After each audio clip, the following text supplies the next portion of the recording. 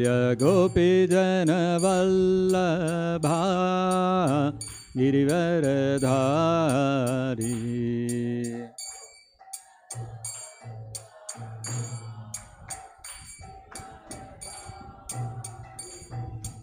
यशोदनन्दनव्रजजनरञ्जना।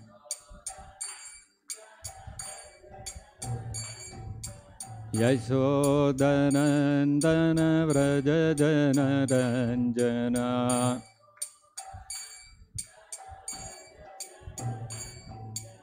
यमुनातीरावनचारि।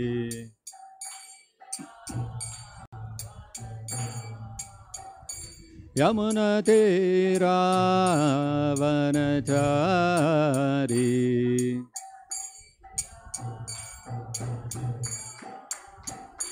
जय राधमाधवा। कुञ्जविहारी।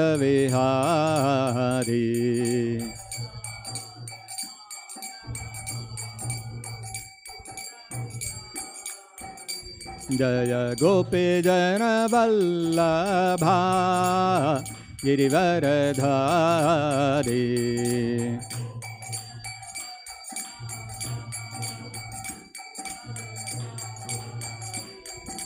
यशोदनन्दन व्रज जनरञ्जना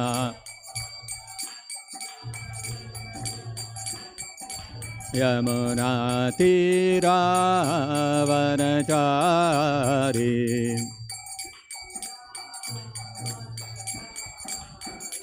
यमुनतीरावनचारी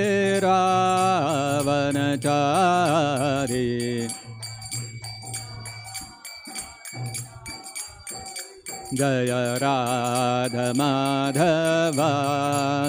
कुञ्जविहारी।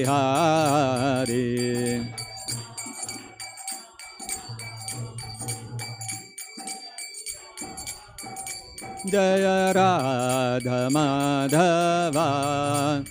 कुञ्जविहारी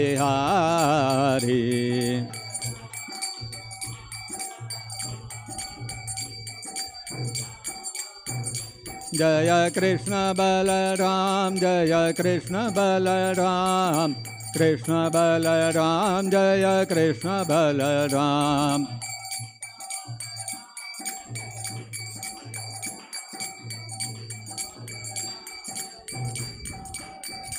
जय गौरनिताय जय गौरनिताय गौरनिताय जय गौरनिताय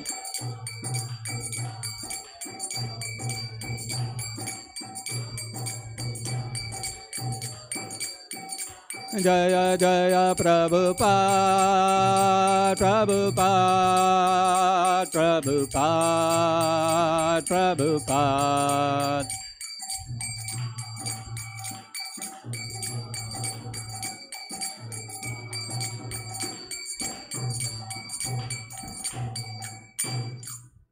जय मिश्रपाद परमंस परिव्राजगतरिष्टोत्तर शत श्री श्रीमद इस डिवाइन ग्रेस। ऐसी भक्ति वेदांत स्वामी श्रील प्रभुपाद की जय जय मिश्रपाद परमंस परिव्राजगतरिष्टोत्तर शत श्री श्रीमद इस डिवाइन ग्रेस श्रील भक्ति सिद्धांत सरस्वती गोस्वामी महाराज की जय अनंत कोटि वैष्णव वृंद की जय प्रेम से कहो श्री कृष्ण चैतन्य प्रभु नित्यानंद श्री अद्वैत गदाधर शिवासदि गौर भक्त की जय ग्रंथराज श्रीमद् भागवतम की जय, श्री श्री कृष्ण बलराम की जय, श्री श्री गौर निताय की जय हरे कृष्ण महामंत्र की जय।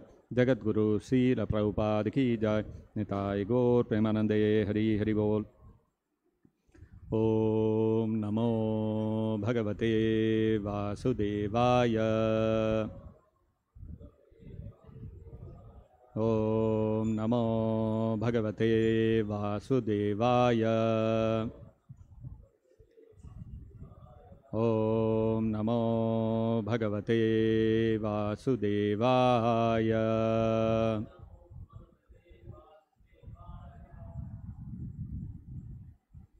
Reading from Srimad Bhagavatam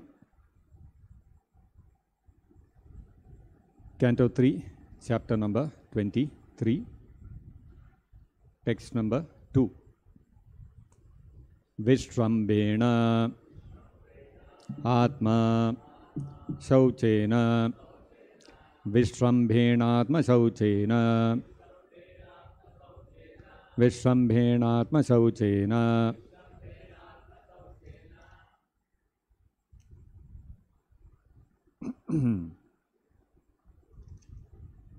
गौरवेण दमेन च। गौरवेण दमेन च। गौरवेण दमेन च। शुश्रूषया सौहृदेन। शुश्रूषया सौहृदेन। शुश्रूषया सौहृदेन। वाचा मधुरया च भोः। वाचा मधुरया च भोः। वाचा मधुरया च भोः विश्रम्भेणात्मशौचेन गौरवेण दमेन च। शुश्रूषया सौहृदेन। वाचा मधुरया च भोः। विश्रम्भेणात्मशौचेन गौरवेण दमेन च। शुश्रूषया सौहृदेन। वाचा मधुरया च भोः। विश्वम्भेणात्मशौचेन।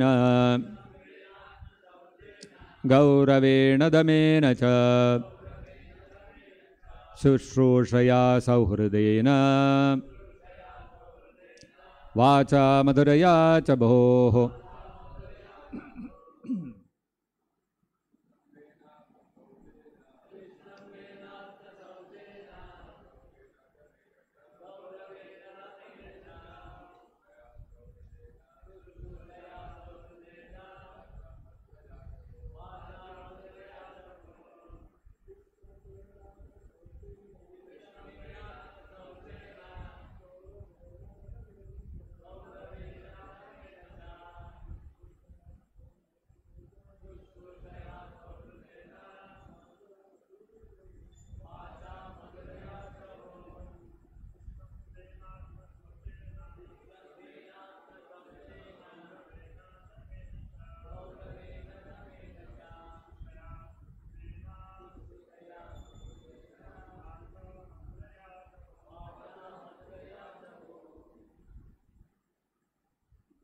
Vishrambhena with intimacy, Atma Shauchena with purity of mind and body, Gauravena with great respect, Damena with control of the senses, Cha and Shushushaya with service, Sauhradena with love, Vacha with words, Madhuraya sweet, Cha and Bhoho, O Vidura.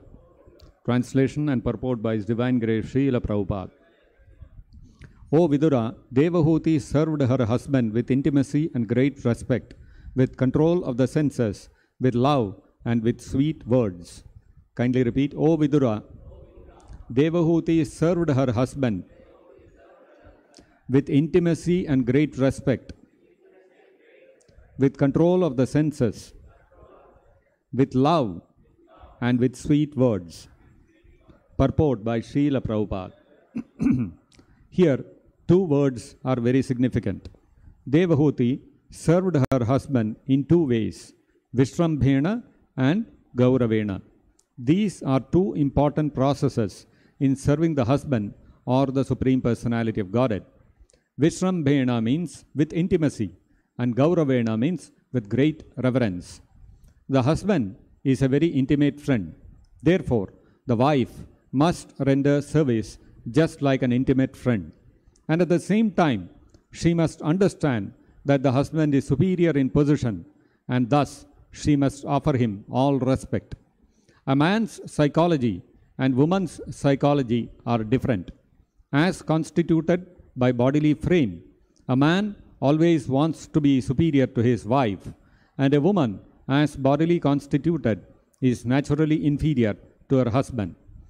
Thus, the natural instinct is that the husband wants to post himself as superior to the wife, and this must be observed. Even if there is some wrong on the part of the husband, the wife must tolerate it, and thus there will be no misunderstanding between husband and wife. Vishrambhena means with intimacy, but it must not be familiarity that breeds contempt. According to the Vedic civilization, a wife cannot call her husband by name. In the present civilization, the wife calls her husband by name, but in Hindu civilization, she does not. Thus, the inferiority and superiority complexes are recognized. Damayancha, a wife has to learn to control herself even if there is a misunderstanding. Sauhurdayana vacha madhuraya means always desiring good for the husband and speaking to him with sweet words. A person becomes agitated by so many material contacts in the outside world. Therefore, in his home life, he must be treated by his wife with sweet words. Thus ends the Bhaktivedanta purport. ॐ अज्ञानतिमिरान्धस्य ज्ञानाञ्जनशलाकया चक्षुरुन्मीलितं येन तस्मै श्रीगुरवे नमः। नमा ॐ विष्णुपादाय कृष्णप्रेष्ठाय भूतले। श्रीमते भक्तिवेदान्त स्वामिन्निति नामिने नमस्ते सारस्वते देवे गौरवाणी प्रचारिणे निर्विशेषाशून्यवादी पाश्चात्यदेशतारिणे। जय श्रीकृष्णचैतन्य प्रभो नित्यानन्द श्री अद्वैतगदाधर श्रीवासादिगौरभक्तवृन्द हरे कृष्ण हरे कृष्ण कृष्ण कृष्ण हरे हरे हरे राम हरे राम राम राम हरे हरे मूकं करोति वाचालं पङ्गुं लङ्घयते गिरिं यत्कृपातमहं वन्दे श्रीगुरुं दीनतारणम्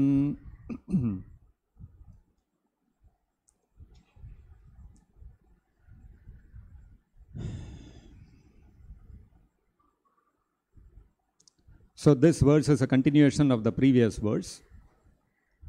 The previous verse, it is described that Devahuti, after her parents had departed, after her marriage to Kardama Muni, she understood the desires of her husband, Kardama Muni, and served him constantly with great love.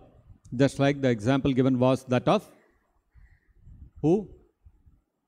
Whose example was given? Parvati Devi serves Lord Shiva. Forgotten.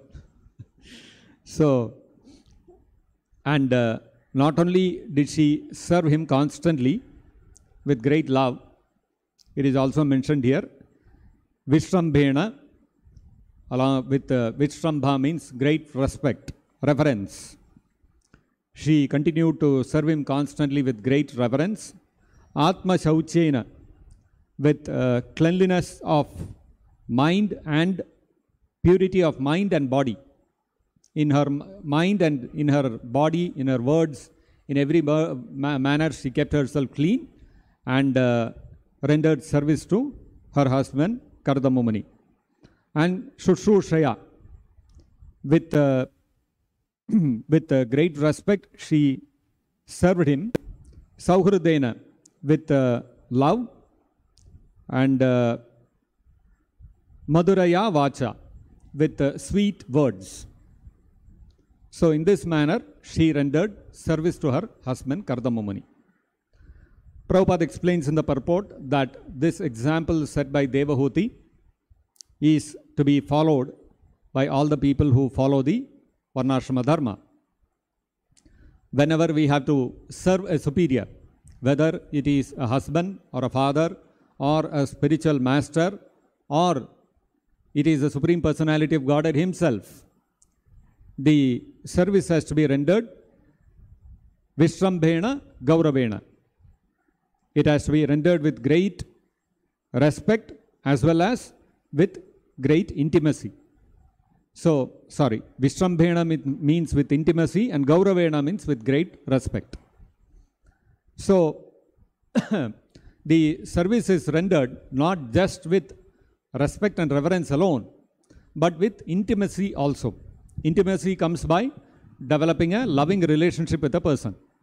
Whenever we serve the spiritual master or the Supreme Personality of Godhead, we have to serve them with great intimacy. Intimacy means we feel for what they want, their desires. When we are very intimate with somebody else, we are very uh, careful or very thoughtful about the other person's desires. Suppose there is somebody who is very dear to us, maybe our parents or our siblings or somebody like that. What do we do? We are always thinking how to satisfy their desires. This is natural.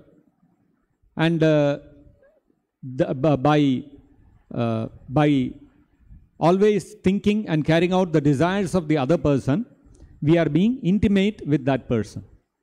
This is called intimacy, which arises out of a loving relationship. At the same time, that intimacy cannot, should not become familiarity breeds contempt. That care we have to take in the service of the spiritual master as well as the Supreme Personality of Godhead.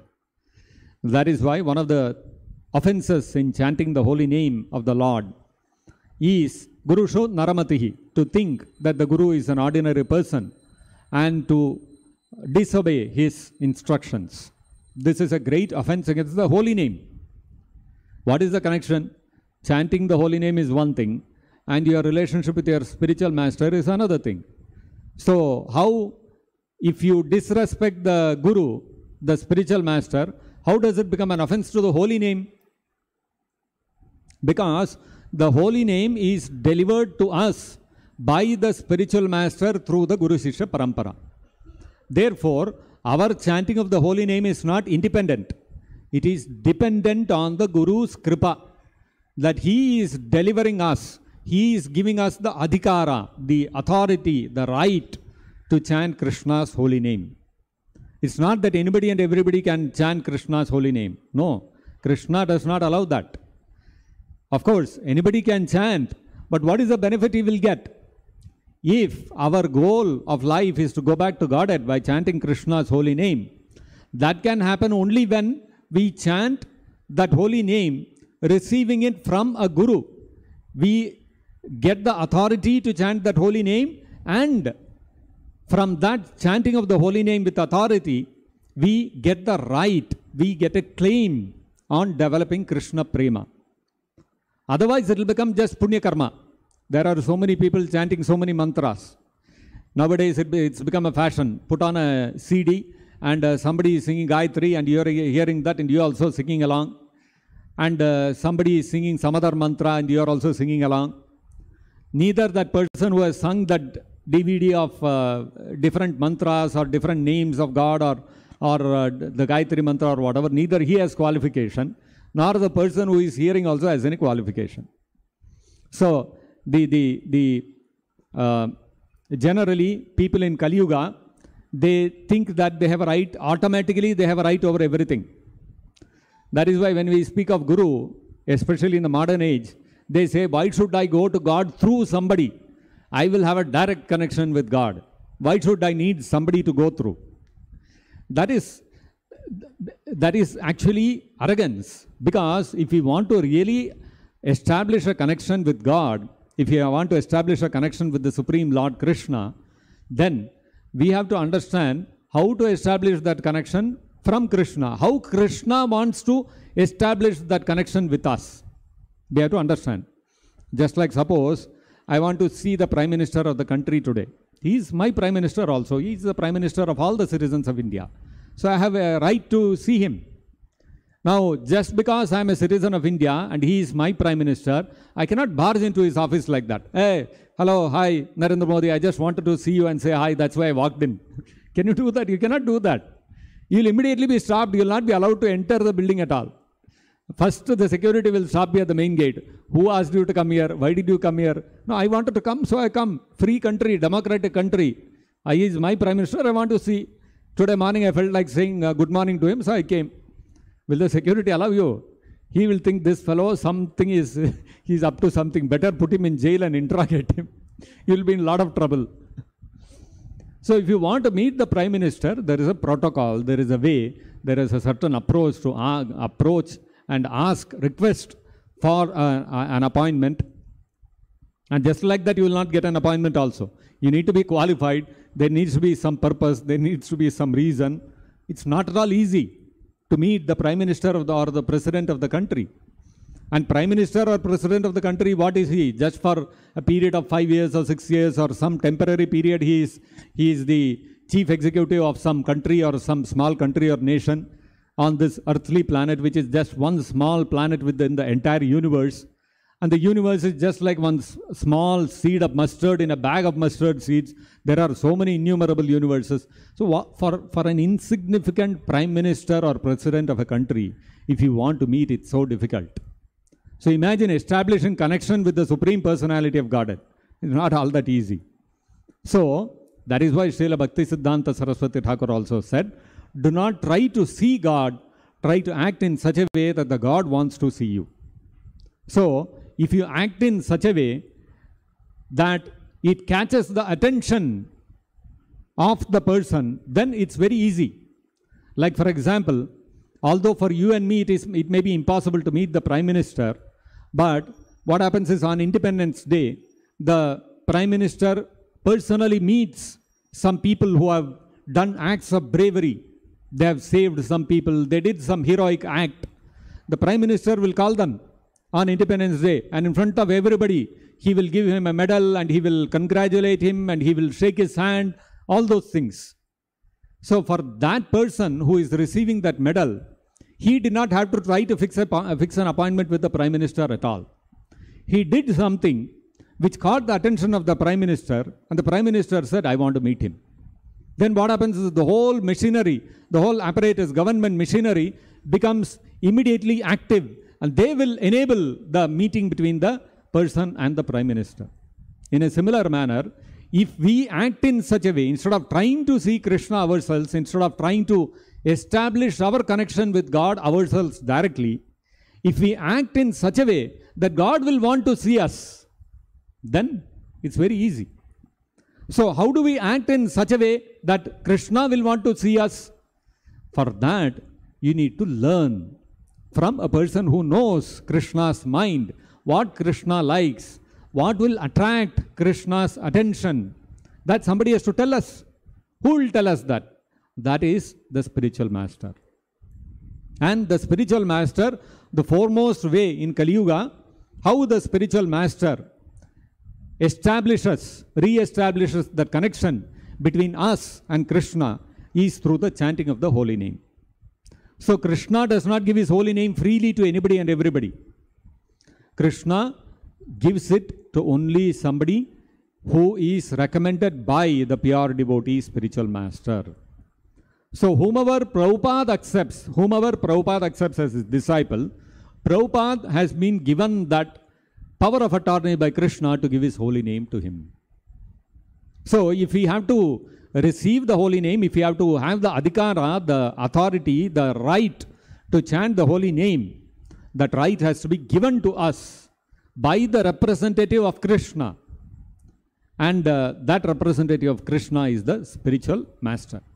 This is the system set up by Krishna himself. Emam parampara praptam imam rajarshayo viduhu. No matter how great a person you are, you may be the king, you may be a great king of some, the entire planet, but still, if you want to approach me, you have to approach through the Guru Parampara. All your material achievements and accomplishments, and no matter how great a person you are in the, you are in the eyes of the world, in front of Krishna, if you have to approach him, you have to approach through a pure devotee only. So the spiritual master is the appointed representative of Krishna. The spiritual master has not ta taken the role of spiritual master upon himself, by himself.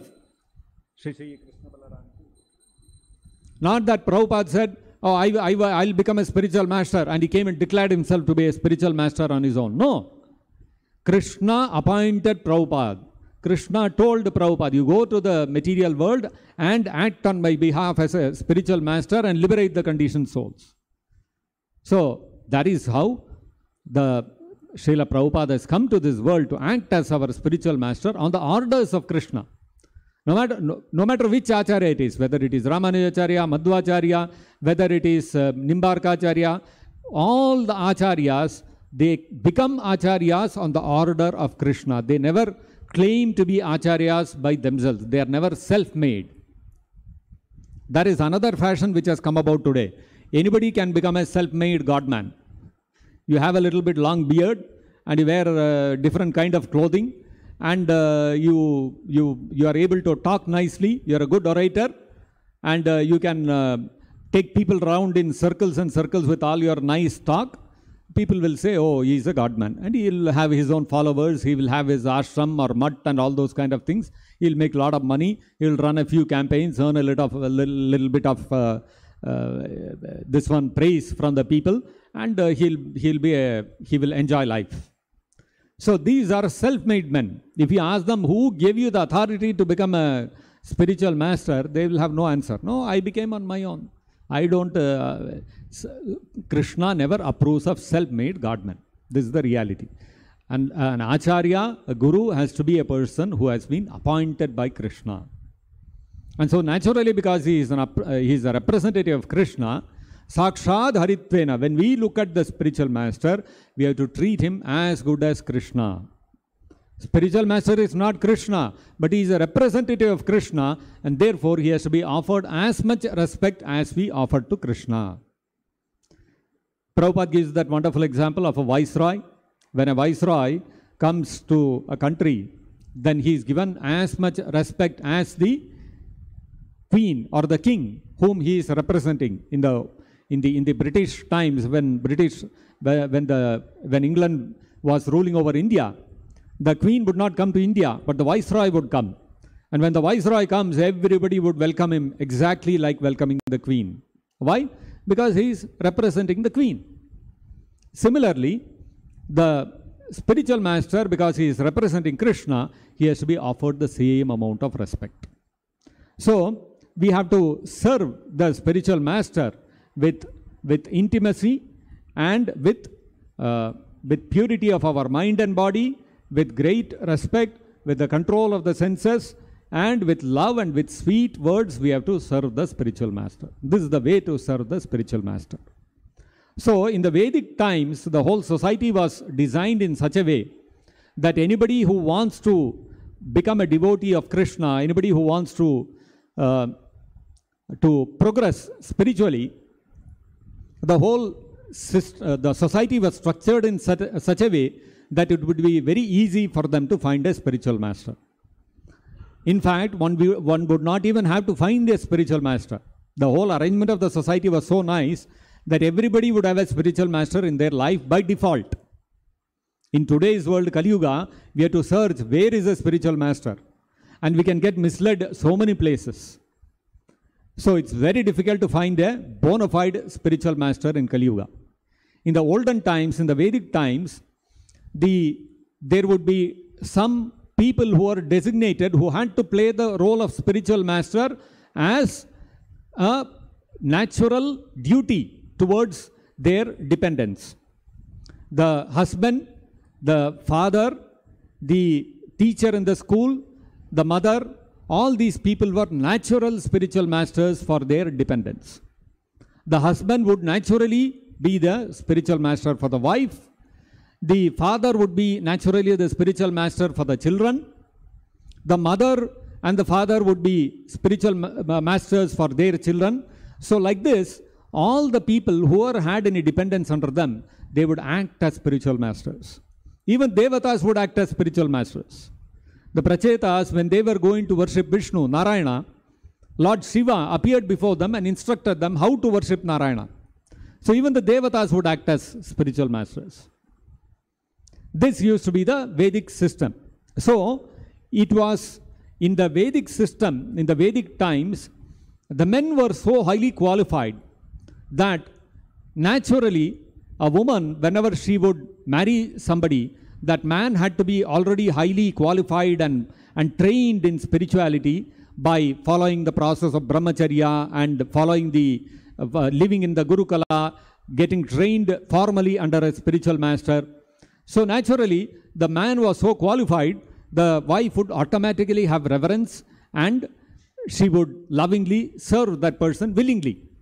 Just like we see in the case of Devahuti also. She was willingly, voluntarily, she accepted the service of Kardama Muni. It's not that Kardama Muni um, imposed upon her. The society was, uh, was forcing Devahuti that you have to serve, you have to be subordinate to him. No.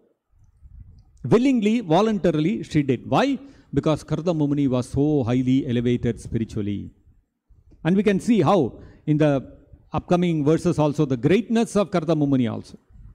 It's natural that whenever we, we have a relationship with a person who is very great, we will naturally have respect for that person. The person doesn't have to demand respect, he has to command respect, which was what was in the case of Kardama Muni. Kardamumani was not demanding respect from Devahuti, his wife.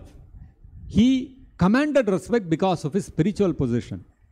In Kali Yuga, because the men are all so fallen, they are all so unqualified, naturally women feel, what is, why should I respect this man? After all, for, between me and him, what is the difference? There is no difference between me and him. He is also as fallen as I am fallen. So what is the big deal? Why should I respect him? So naturally, the, the, the women also start demanding that we have to be given equal respects. And the men, on the other hand, they are unqualified and they are expecting, no, my, uh, my wife should, my uh, children and my wife and all these people should uh, offer me respect. Why should they offer respect to you? You are totally unqualified. When you are unqualified, why should somebody respect you? You see, in the case of uh, uh, Gandhari and Dhritarashtra, Dhritarashtra, because he was unqualified, he did not follow the path of Dharma. Many times Gandhari went and questioned him. She spoke to him strongly, What are you doing? Why are you, uh, uh, this one, encouraging uh, Duryodhana? Why don't you reject him and accept the Pandavas? She openly went and uh, opposed Dhritarashtra. Why? Because Dhritarashtra was unqualified. Later on, of course, after all the battle of Kurukshetra got over, the Pandavas again got re-established by the instructions of Vidura. Dhritarashtra developed Vairagya, he gave up his home and went to the forest and became a sannyasi. At that time, Gandhari followed him and uh, she served him very nicely. Because he had elevated himself, so naturally she felt respect for him. So the respect she did not have for him when he was the king, she developed respect for him when he gave up his kingship and became a sannyasi in the forest. you see? So respect does not come simply by becoming being a man or a husband or a father one has to be qualified to command that respect. Today's parents also, they tell children are not listening to us. They do whatever they want. Why will they listen to you? Because you know only one thing. You know how to earn money. That's all. So the, the children also know that. They have also gone to college and learned how to earn money. So why should they respect you? Unless the parents are highly qualified, the children will not respect. Unless the husband is highly qualified, the wife, uh, husband is highly qualified, the wife will not respect. Unless the teacher is highly qualified, why should the students respect? You go to the today's colleges, what do they teach in the colleges? The teachers, they teach simply how to earn your livelihood, how to make money. And do you look at the character of the teachers, they are no different from the students. The students also want to eat, drink, sleep and mate. The teachers are also doing that. Why should the students have respect for the teachers? If the teacher, the husband, the father, the mother, all these people are elevated spiritually. They have great qualities, spiritual qualities they have. They have the qualities of Vairagya. They have the quality of Jnana, knowledge of the Supreme Personality of God Godhead Krishna. Knowledge that I'm not the body, I'm spirit, soul. And Damena, they have control over their senses. Automatically, everybody will respect. You will command the respect of everyone. This was a, uh, this was a well understood fact in the Vedic civilization. So, the men being highly qualified in terms of vairagya, renunciation, detachment, and control of their senses, naturally they commanded the respect of their wives. And both the, like, even Devahuti is not any less qualified. How did she serve uh? Her husband, she served Damena, with, with full control over her senses and Atma Shauchena with purity of mind and body. She served him. So she was also highly qualified. So when both the husband or wife are qualified in terms of control of their senses and purity of their thoughts and actions, what happens? Children will automatically respect and follow what the parents say. The parents don't have to impose themselves upon them. So we have to understand these verses from the perspective of the of, of uh, the qualification, spiritual qualification of the personalities involved, and then we will be able to understand all these uh, instructions which are given in the Bhagavatam. Today's people should not expect that the similar kind of relationships can exist in Kali Yuga, unless, of course, the husband is a great pure devotee. Naturally, the wife will be subordinate and will be subservient to the husband. But otherwise, people should not misuse this. Sometimes uh, uh, devotees, they, they tend to misunderstand. And when there is a husband and wife who are devotees, the husband tells, see, you are not following Prabhupada's instruction. You have to be subservient to me. You have to follow whatever I say. And husband is demanding something, wife is not following. Both are devotees. It's, it's not like that. First, you have to be qualified. We are ourselves struggling to control our senses and follow the four regulative principles and chant our uh, rounds of Hare Krishna Mahamantra without uh, thinking of anything else, without offenses. And we are expecting that uh, my partner, my wife, she should follow me.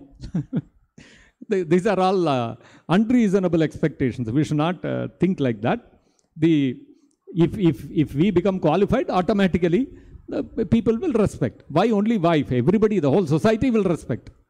So, so these instructions have to be taken uh, in uh, totality. We have to understand the qualifications of the persons involved.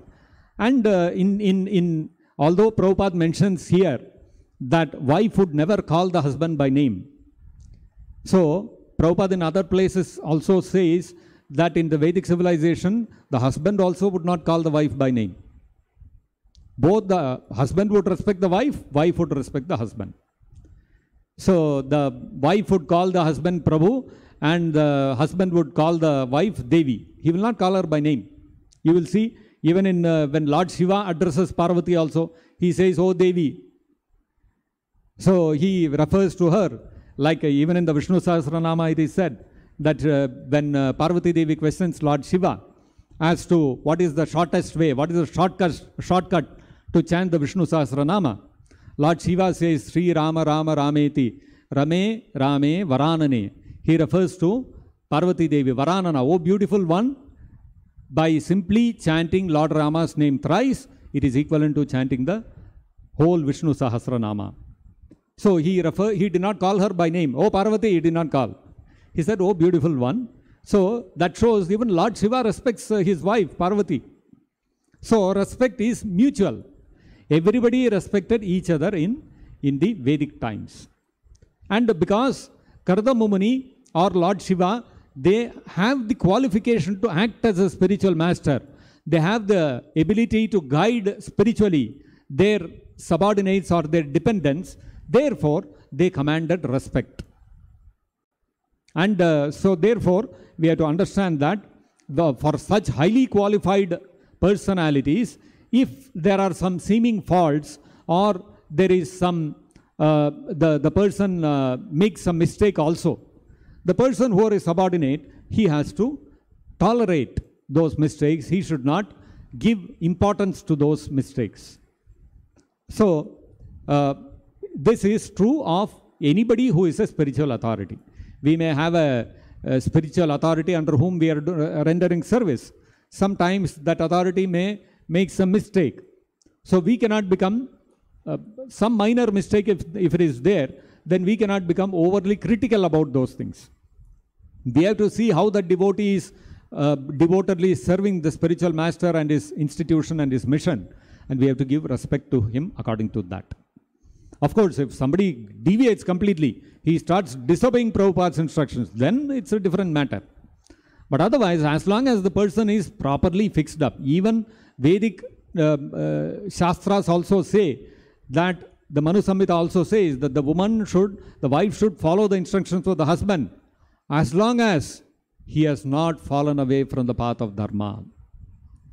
So even in the Vedic times, it was not that the wife has to blindly follow the husband.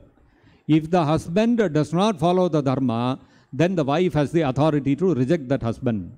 This was there even in Vedic times. But in Kali Yuga, in Vedic times, because all the men were highly qualified, unqualified men were rare here and there. One Ravana was there, one Hiranyakashipu was there, but otherwise, by and large, everybody were highly qualified. So all the all the, the, the general instruction was the wife should follow whatever the husband says. And with the understanding, implicitly the, it is understood that the husband has to be fixed up in following dharma. Dharma means dharmam tu sakshat bhagavat pranitam. Dharma is given by the Supreme Lord and acting for the pleasure of Krishna is actual dharma. So as long as the husband is, uh, is following the path of dharma, he is executing the instructions of Krishna. Until then, the wife has to uh, follow the instructions of the husband. So, uh, such a qualified person, there is no harm in following the instructions of that person because ultimately, because that person is engaged totally in dedicated to serving Krishna and his instructions, by following those person's instructions, we will also progress spiritually.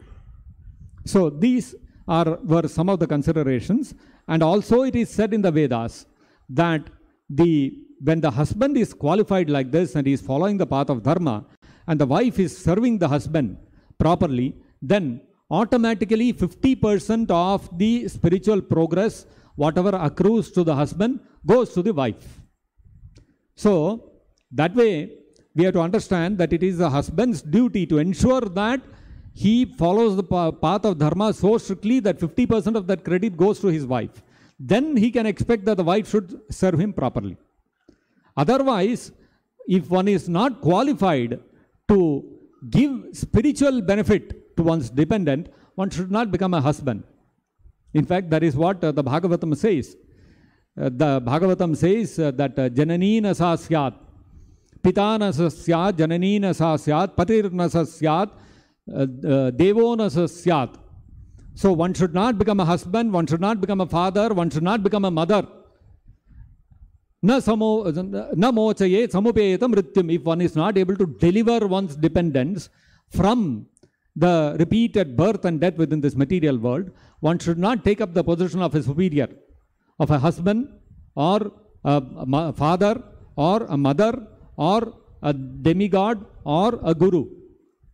One should not take that position until and unless one can deliver one's dependence from the cycle of repeated birth and death within this material world. So it's a very great responsibility.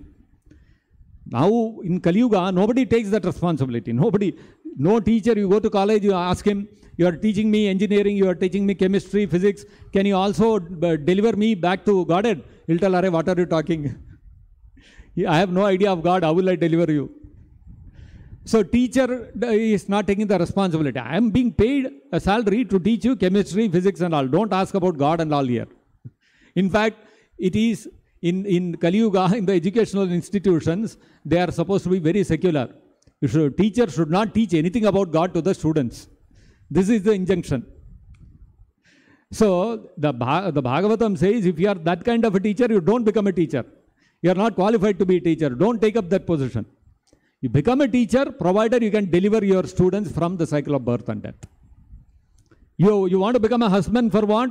For enjoying sense gratification with a woman. Then don't become a husband. Become a husband only if you are able to deliver your wife from the cycle of birth and death. The husband and wife, they beget children what? Just like that because they want their family to increase. Then please don't become uh, parents. Become parents only if you can deliver your children from the cycle of birth and death. So all these positions in the Vedic times were given with great responsibility. In Kali Yuga, nobody wants to take the responsibility, but everybody wants the respect. Children should listen to me, students should listen to me, wife should listen to me. What are you giving in return? Are you delivering them from the cycle of birth and death? That don't ask. But you give me everything. All the respect and reverence you give me. That will not work like that. If you are giving, like we all voluntarily, we subject ourselves to Srila Prabhupada. Why? Because he is delivering us from the cycle of birth and death. He is taking us back to Godhead. He is giving us Krishna Prema. Therefore, all of us are voluntarily serving Him. We are not getting any salary. We are not getting any career growth. We are not getting any big uh, uh, this one, future, our future is secure, therefore we are doing. We have no future, securement. We have nothing, no security for our future. Why? Because we are all serving the spiritual master's mission. Voluntarily, we have come and surrendered our lives to our Guru, Srila Prabhupada. We are not making uh, arrangements for in my old age what will happen. I should have a pension. I should have somebody to take care of me. My medical needs have to be taken care. So let me make some arrangement. None of those arrangements are there. We don't have a salary. We don't have any future uh, security for us. None of these things are there. So then, how are we coming and uh, dedicating ourselves to Srila Prabhupada? Because Prabhupada is taking the responsibility to take us back to Godhead. So voluntarily, we surrender ourselves to Prabhupada. So this principle works everywhere. Those who take responsibility, they can command the respect of the people. So this is the instruction what we can understand. So because Kardama Muni was such a great elevated spiritual personality, Devahuti naturally served him with great uh, reverence and, and uh, with uh, intimacy, with control of the senses, with love and with sweet words. And this is applicable for the spiritual master also and for the Supreme Personality of Godhead, Krishna also. So I'll stop here. If anybody has any questions or comments, we can discuss.